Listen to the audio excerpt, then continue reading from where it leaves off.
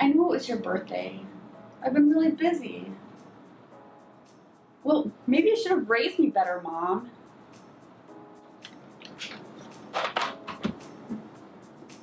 Sorry about that. This video is intended to assist you in operating your 1-VoIP phone's buttons and functions. Let's get started. Your menu button has a paper with a folded corner on it. Your voicemail button is marked with an envelope, and your hold button, which I just used on my mother, is marked with universal hand gesture for hold on a minute. Now, in addition to the voicemail button, your 1-VoIP phone has a voicemail indicator light above the display screen. If this light is glowing red, you have a waiting voicemail. Below the voicemail, menu, and hold buttons, you'll see your mute, headset, and speakerphone buttons. Each one glows red when activated. If you want to connect the headset and talk hands-free, the port is on the side of your phone cradle. This toggle next to the buttons helps you adjust your volume to a comfortable level, whether on headset, speakerphone, or handset. Now let's familiarize ourselves with the four little buttons below the display screen. There's different functions whether you're presently dialing a call, in a call, or off of a call.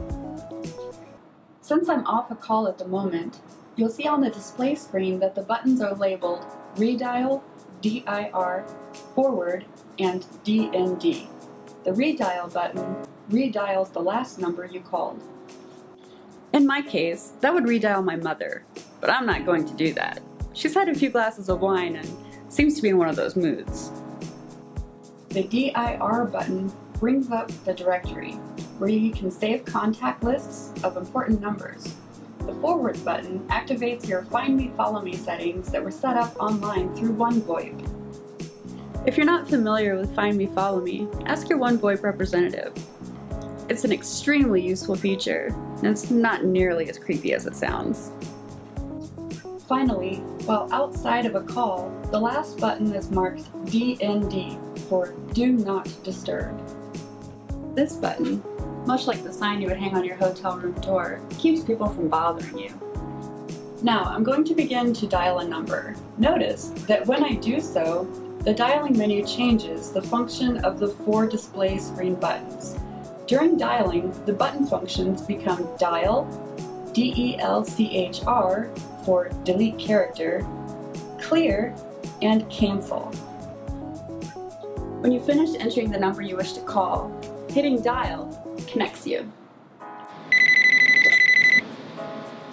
Hello? Intern, bring me coffee now! Now, let's talk about extensions. In its default setting, your 1-VoIP phone extension can have up to four lines running simultaneously. However, if you want these settings customized, there are many options your one 1-VoIP representative can offer you. Hey, uh, I wasn't sure how you wanted it, so I got a bunch. Stop talking and hurry up. Now that I'm currently in a phone call, we can see that the options on the display screen have changed. Notice that the four buttons at the bottom of the display screen now read Park, C-O-N-F, B-X-F-E-R, and X-F-E-R. The first of these buttons, Park, sends the call to a parking lot. The parking lot is a kind of shared hold area for calls. It's like being on hold, but now multiple extensions could pick up this call, not just mine. The Conf button is used when you want to enter a conference call. The first press of the button puts the current call on hold. After entering the number you want to add to the conference call, hit the dial button that has appeared on the display screen. Once the number you have dialed picks up, hitting the conf button again links the calls.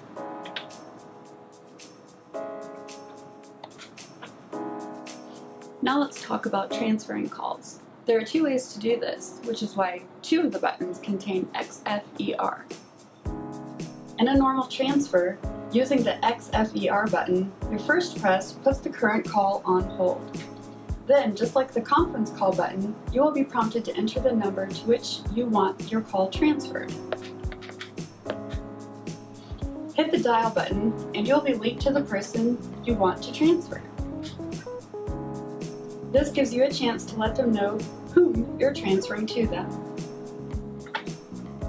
Hello, Mom. I'm transferring you to my intern so you can take your frustrations out on him. All you have to do now is hit the XFER button again to disconnect yourself and link the two calls. The B in the BXFER button stands for blind. A blind transfer works exactly the same way as your standard transfer, just without connecting you to the phone where you're connecting the call. It's a more direct way to make the transfer, but comes with less warning. This concludes your 1-VoIP phone's basic functionality instructions. We hope you found this video helpful. For additional questions or assistance in customizing your phone, go ahead and give us a call or reach out to us on our website. Now, where's my coffee? What am I?